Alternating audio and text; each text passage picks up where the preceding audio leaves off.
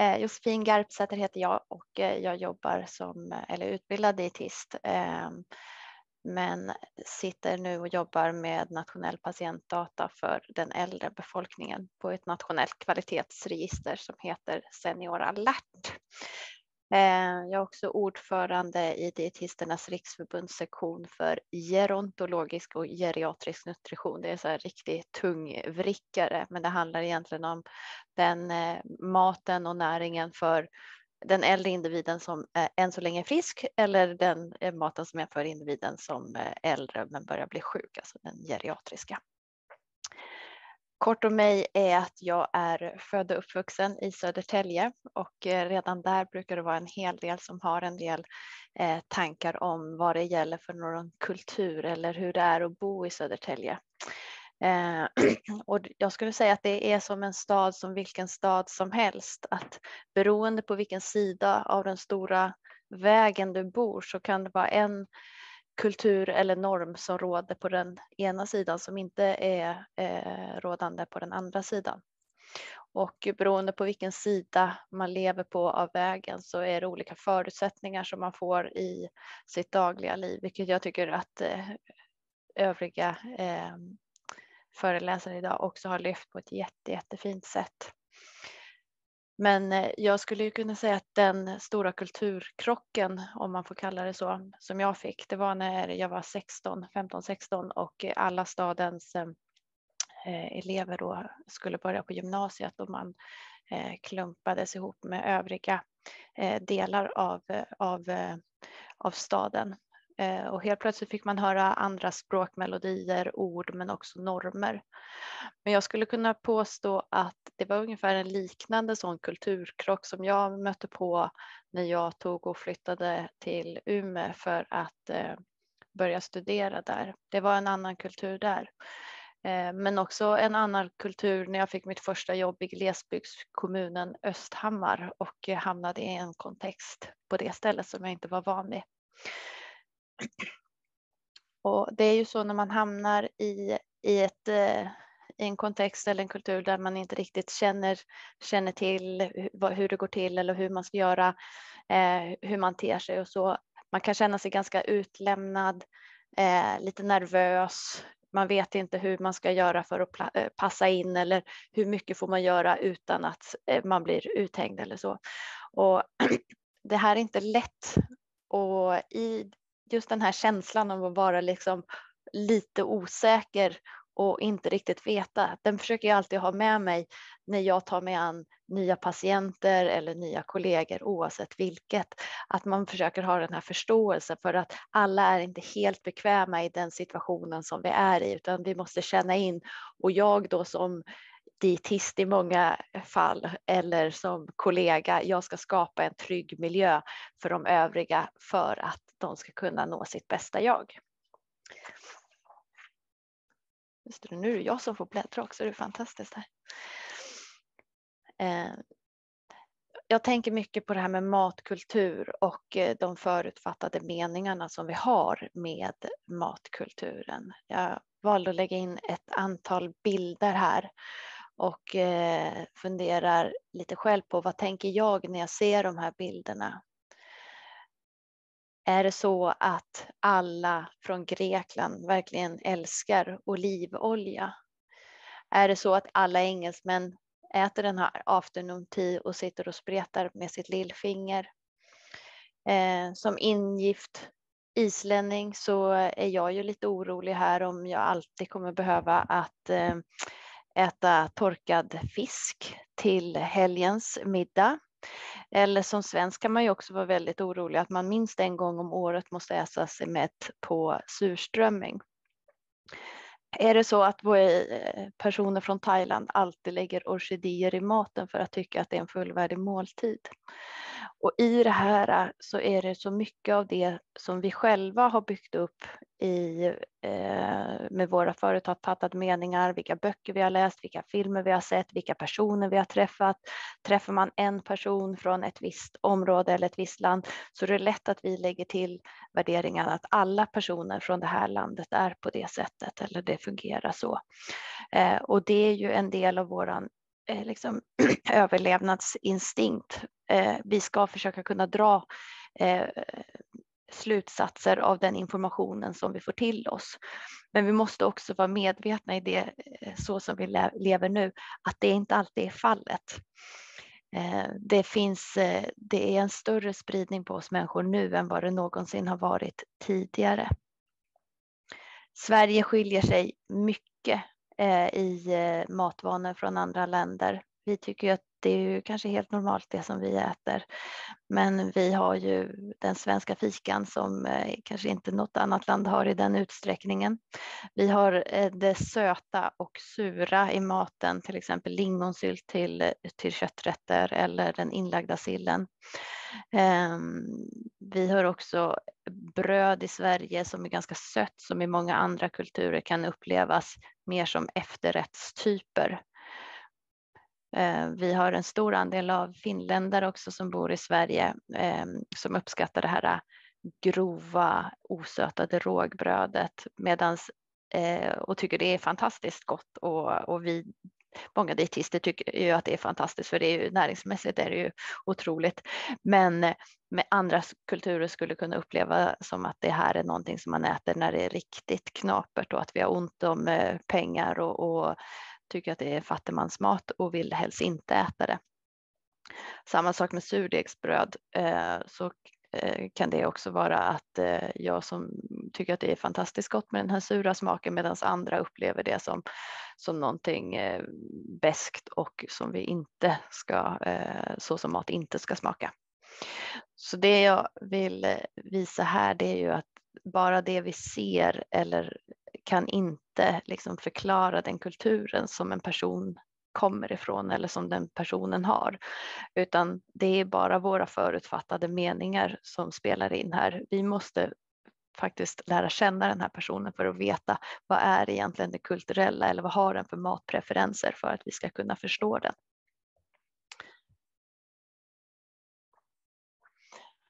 För det är ju så att vi blir vår kultur det här nyfödda barnet som vi har pratat om på, på förmiddagen och barnet som precis har är beroende av sin mammas bröstmjölk eller ersättning eller klämmisarna eller vad det kan vara. Det är rätt mycket av ett oskrivet blad.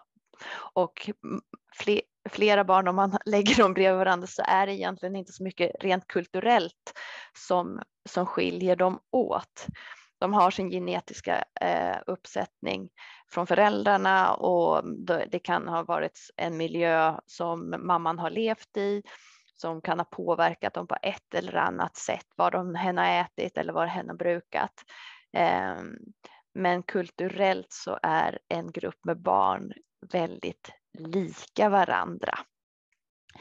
Men åren går eh, och vi lever ju i det är olika kontexter och så som, som påverkar oss, miljöer och normer eh, som vi ska anpassa oss efter. För vi som folk eh, eller som människor är ju ett väldigt eh, anpassningsbart. Vi försöker ju liksom hitta in i den flocken för att vi, vi ska inte sticka ut för mycket för då fin, finns det ju en risk att flocken stöter ut oss. Så vi försöker ju anpassa oss bäst vi vill och beroende på vad som händer i våra omgivningar så blir vi ju de personerna som vi blir.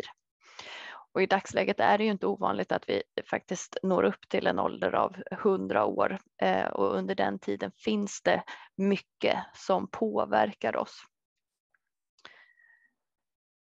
Så under de senaste hundra åren så har det funnits och finns fortfarande jättemycket elände eh, såsom krig och svält, orättvisor, folk som behöver flytta för att kunna få möjlighet att fortsätta leva. Ehm, det är ju inte bara att man flyttar för att man vill upptäcka något nytt utan man kan ju faktiskt vara tvungen för det och det påverkar oss så som vi var inne på på förmiddagen. Det har funnits makter som vill separera folk men också människor som har kämpat för att förenas. Och det här gör ju också att vi får den kulturen som vi får. Ehm, vi kan ju bara se några av de här bilderna som jag har lagt in som har hänt under de senaste hundra åren med, med andra världskrig, eh, bombning Hiroshima.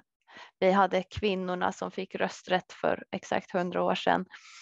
Eh, det har ju gjort också att kvinnorna eh, har fått, en större, eh, fått ett större inflytande i samhället, även om vi är långt ifrån jämställda ännu. Vi hade kylskåpet som blev eh, en del i det svenska hemmet. Det här gjorde också att vi kunde eh, vi kunde anpassa våra levnadsvanor eller matvanor på ett annat sätt än vad vi hade gjort tidigare.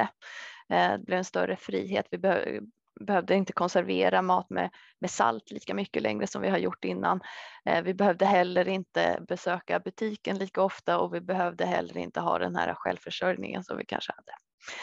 När bilen gjorde, eh, gjorde entré i, i hemmen så blev det också möjligt att både ta sig till andra ställen men också eh, för, för, för resande skull men också för att inhandla mat eh, hygienfaktorn i, i de svenska hemmen, att vi, vi fick rin, rinnande vatten, vi fick dusch och så vidare, har ju också gjort att vi har kunnat utveckla vårat, eh, våra, våra mat och våra måltider på ett annat sätt. Vi har också kunnat liksom, leva trängre än vad vi har gjort eh, tidigare. I och med eh, införandet av förskola eller dagis och, och, vad vi väljer att kalla det från, eh, så de ja, det kallades ju inte förskola från början, så, eh, så har det också blivit en annan frihet för eh, kvinnorna. Men det, det, har ju också medfört att eh gemene man inte har någon som bor hemma och, och till, tillaga mat hela dagarna utan mat, matkulturen har ju fått ändrats utifrån att det är två stycken som eh, är förvärvsarbetare i hemmet istället för att det tidigare var mannen som arbetade och kvinnan var hemma och skötte hemmet och kunde eh, till, tillaga maten. Vi har också den här eh, love and peace eh, hippie-perioden. Vi tror ju gärna att det är vi nu på 20-talet eller 2000-talet som har blivit miljömedvetna och eh, velat förändra världen. Men det, det, här har ju kommit i cykler eh, hela tiden. Så det, ja, det händer. Och nu tycker jag ju också att det är väldigt, väldigt spännande att se vad eh, den här eh, coronaperioden, för jag tänker att det kommer vara en period och sen så kommer vi få anpassa, anpassa oss till ett nytt levnadssätt. Vad den kommer skapa eh, för kultur eller för normer i framtiden, för på ett eller annat sätt kommer det påverka oss. Men det som en person upplever genom sitt liv kommer också att göra att den får den kulturen den ska ha. Så från det här spädbarnet eller de här spädbarnen som är ganska lika varandra i sin, eh, ur ett kulturellt synsätt så kommer vi till den äldre befolkningen där det är väldigt, väldigt mycket individualitet och det kan spreta åt alla håll för vi vet inte vad personerna har varit med om och vad de har lärt sig eller vad, vad, vad de har upplevt under de här kanske 80-100 åren som de har funnits och levt. För vi får börja och se på den svenska matkulturen och vad som är speciellt för, för Sverige. Vi pratar mycket om den här eh, svenska fikan och det kan ju göra att det blir eh, eh, väldigt missvisande för de som eh, som försöker anpassa sig efter det precis eh, eller det exakta svenska eh, kulturen och mattraditionerna och sånt det är ju inte så att eh, gemene man i Sverige varken bör eller gör så att man äter de här sju sorters kakorna varje dag, utan det här är ju eh, någonting som man kanske förr hade på fester eller så. Men det är ju lite farligt om vi, om vi eh, lär ut att det är fika med kakor två, tre gånger per dag. Det skapar ju liksom en folkhälsa som inte är av, den, av det bästa. Eh, Sen är det ju den här svenska potatisen som vi då ska äta till allt eh, och det behöver vi ju liksom anpassa då till, till de kulturerna som vi har inom äldreomsorgen. Att potatisen kanske inte är det här tillbehöret på tallriken utan att den mer finns med i grytor och liknande för att det ska bli eh, mer anpassat till, eh, till andra kulturer. Och eh, jag eh, försökte slå lite här på klassiska eh, eh, svenska maträtter för att se var jag själv kommer från kultur eller vad, vad, som kan, vad man kan eh, vad man kan ha för några förutfattade meningar om vad jag gillar att äta. Men då, då hittade jag de här fantastiska receptkorten som fanns på 70 och 80-talet eh, med olika recept som man skulle laga och samla i de här boxarna. Så här har vi då skinkägg i gelé. Eh, jag tror varken jag eller kanske så många av er eller mina mor och farföräldrar skulle bli väldigt uppskattade och eh, uppskatta om vi fick det här serverat, varken till lunch på jobbet eller på våra eh, särskilda boenden. Också väldigt mycket mat eh, med frukt i. Eh, och här kommer vi tillbaka till det här svenska, att man kanske tycker att det eh, sött passar till, till mm, umamismaken som kommer i, i, i kött och sånt. Men det är ju långt ifrån alla som tycker att det här är ens kultur, även om det här finns med i typiska svenska recept eller samlingar. Och jag pratade med en historiker här för ett, ett tag sedan, eller några år sedan, eh, men eh, där har man kunnat se i studier att Sverige är eller svenskarna är ett av de mest trendkänsliga eh, eh, eller trendkänsliga landet som, som finns. Att vi lätt tar till oss av de traditioner eller nya kulturer eller eh, nya matstilar som finns. Att man jättegärna vill liksom anpassa sig. Är det hippt i ett land så tar vi gärna till oss det. Men vi är också väldigt snabba på att radera ut de här traditionerna eller eh, kulturerna eller trenderna. Så det är bra att vi tänker på det, att vi är ett väldigt flyktigt folk.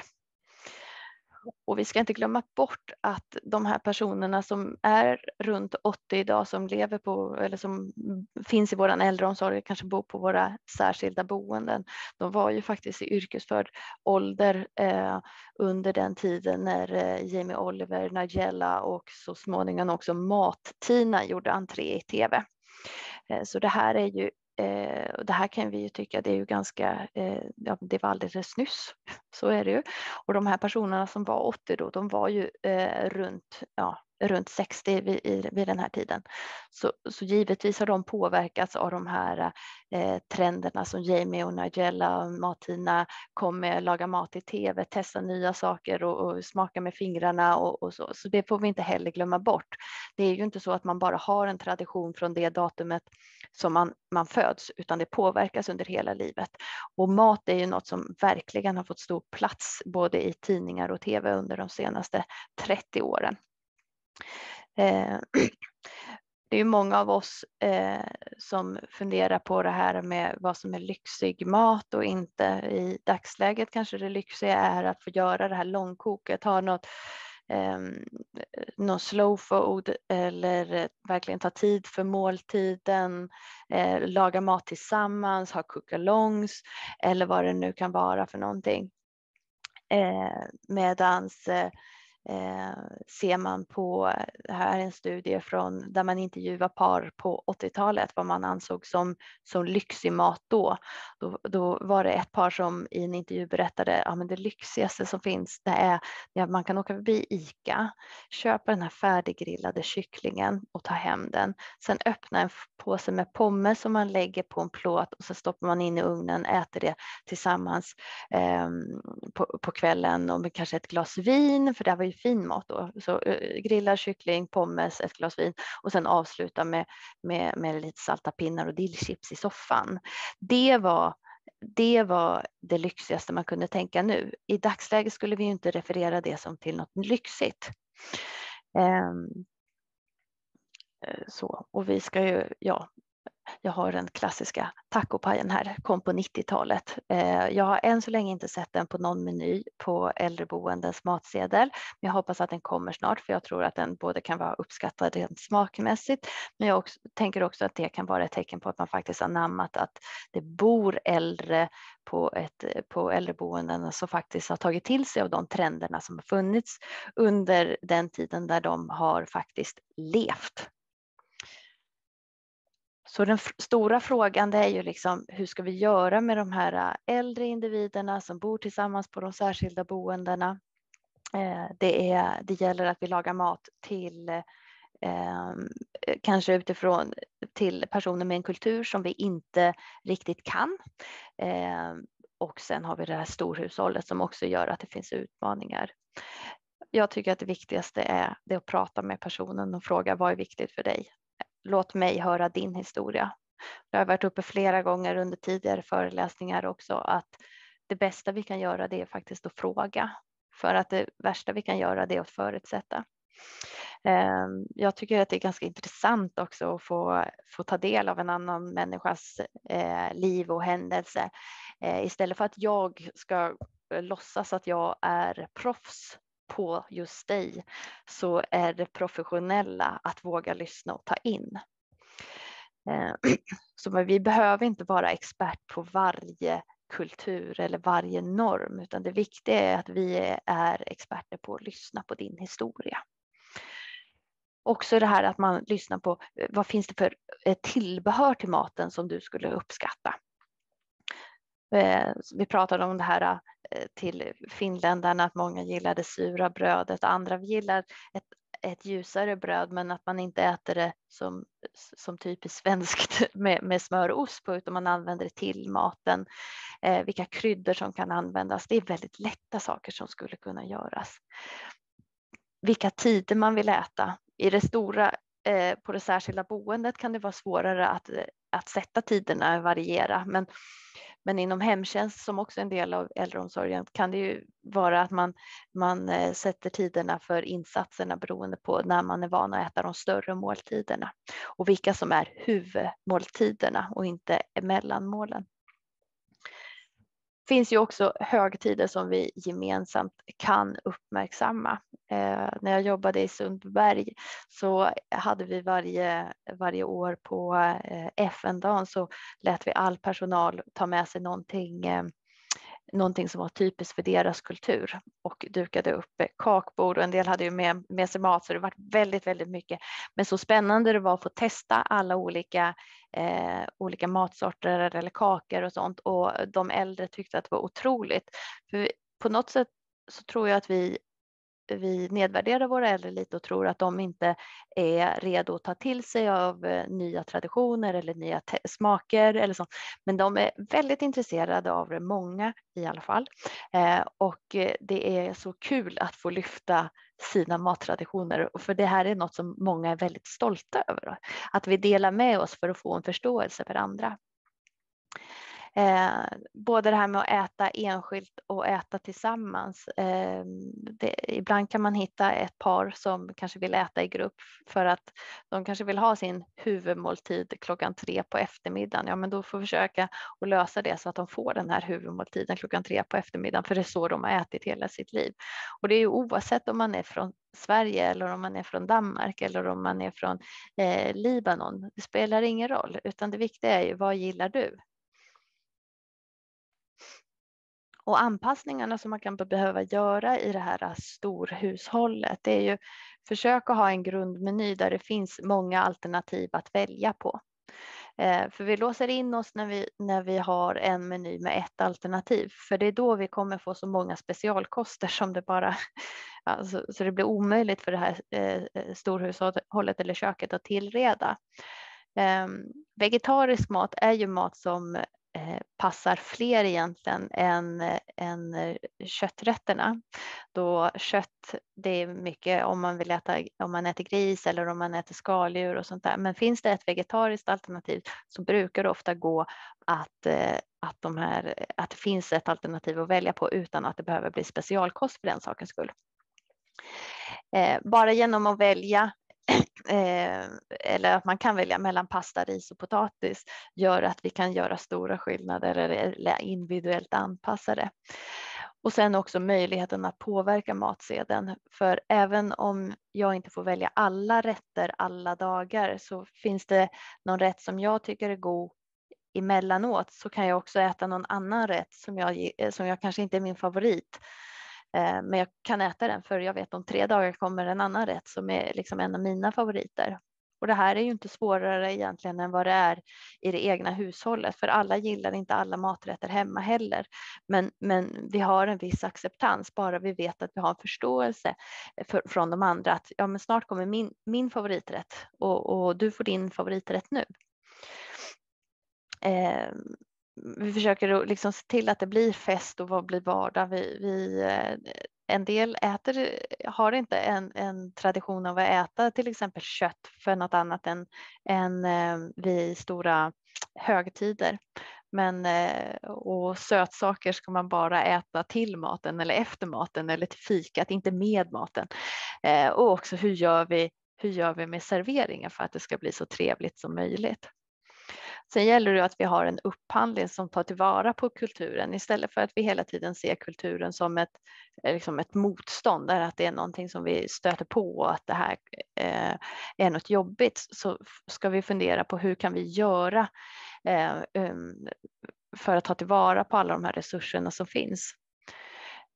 Eh, att att eh, de äldre får träffa som, som det brukar gå under köket, att man får se att det faktiskt är en kock som lagar maten. För det kan ju finnas en misstro också när det kommer mat i de här förpackningarna, att man funderar på är det någon som har stått i någon maskin som har stått, det är ingen kärlek till maten, men att man får träffa representanter från maten, äh, från köket, för då är det lättare när man diskuterar och säger ja men att det här har Lena lagat eller vad det, vad det kan vara. Eh, eller att man ringer till köket emellanåt och pratar med dem. Det, det, det skapar en trygghet för vi ska ju också, mat är ju bland det tryggaste vi har.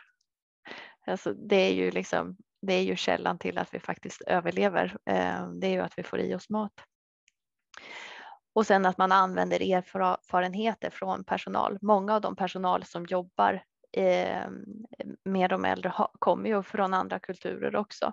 Och de erfarenheterna ska vi ju ta eh, tillvara på. Man, eh, jag har fått lära mig att laga ris på ett sätt som jag aldrig har lagat ris förut, så jag förstår att det finns många som vill äta ris tre gånger om dagen, för det är så mycket godare än det riset som jag själv kokar. Ehm, så använd de erfarenheterna från personalen, för de besitter mycket mer än vad man kanske först tänker på. Ehm. Man kan väl också lägga till, det finns ju vissa äldreboenden som har inriktning mot någon speciell folkgrupp eller kultur eller sånt. Och det, det, är ju jättebra, men det är ingen garanti för att den personalen som jobbar på just det här boendet har kunskapen eller kommer från den här kulturen själv. Så samma sak där så måste man ju se till att den personalen blir medveten om vad de som bor på enheten gillar och uppskattar. Ehm, för det är lätt att bara sätta en etikett på ett boende och tro att det löser hela problematiken eller utmaningen med ett mångkulturellt boende. Sen så har vi ju eh, en annan utmaning med, med äldreomsorgen också. Tidigare idag har vi pratat om att hålla vikten nere medan vi i det här skedet behöver se till att vi håller vikten stabil eh, och håller den uppe men också att vi ser till att personerna i frågan inte tappar muskelmassa. Så här gäller det ju att ha en helt annan information och att vi kan beskriva varför är det så viktigt att mamma inte bantar längre? Eller varför ska vi försöka välja liksom helprodukterna nu för att mamma ska hålla vikten? Eller varför kanske vi inte ska uppmuntra lika mycket till att genomföra den här fastan? Eh, så, ja, det, det, det liksom kommer ett, ett brytläge där eh, någonstans när vi, vi istället måste kämpa med att hålla vikten uppe och se till att musklerna inte tappas. Och det kan vara svårt om man hela livet har kämpat med att banta och sen helt plötsligt ska du se till att nu måste du äta ordentligt och nu måste du äta minst fem gånger om dagen och nu måste du se till, liksom, det, det, det är en tankevurpa som man eh, kan behöva göra och det är inte alltid lätt. Ehm, jag hinner nog säga något kort om ett patientfall som jag hade. Jag tror att jag gör det. Ehm, och vi, det här handlade om en patient som vi blev inkallade till. Ehm, det var uppe att eh, kommunen då inte skötte sig för vi den, den, eh, den boende ville inte äta det som, bo, eh, som serverades och den anhöriga fick komma med mat till boendet. Det fanns patientföreträdare som var inkopplad och det var hot om tidningar och media och det mesta. Um, dietisten, jag då kopplades in um, och fick prata med anhöriga och, eh, och den boende. Uh, och det visade sig att hen hade ett väldigt begränsat matintag och det här, den här situationen var helt enkelt inte hållbar. Så det vi gjorde det var att vi började gå igenom meny, läsa eh, alternativ för alternativ för att se om det fanns någonting som, som passade. Inget passade. Eh, vi kollade hos personalen om de, vad de kunde och inte kunde om den här eh, personen och hur den ville äta, men det dög inte, det var inte tillräckligt. Så till slut ställde jag frågan eh, som man egentligen ska fråga först, men man är alltid så rädd att fråga den för man är rädd att få ett nej. Och det är vad vill du äta eller vad vill du ha? Och då visade det sig att personen ville ha grillad lax, men det skulle vara över öppen eld. Köttbullar, pannbiffar med bara skalet, paj och leverbiff. Eh, och eh, jag skulle ju aldrig gissat att leverbiff var ett av alternativen som den här personen hade velat ha eh, utifrån vad jag hade för förutfattade meningar om dess kultur. Men så blev det. Som dietist kan man ju bli lite gråtfärdig av att man bara ska äta fem rätter. Men eh, så var det. Vi gjorde en meny helt enkelt med de rätterna. Vi kunde inte grilla lax över öppen eld hela tiden såklart, men det var mycket köttbullar. Men både personen i fråga varit väldigt, väldigt nöjd eh, och den anhöriga fick en, eh, en stor lättnad i, i, eh, i, sitt, i sina insatser och kunde börja leva liksom vid, vid sidan om och bara sköta sina anhöriga på boendet. Så vi måste tänka på att det är patienten som vi möter som är den som besitter professionen eller proffset eller liksom om vad den vill äta och hur den vill ha.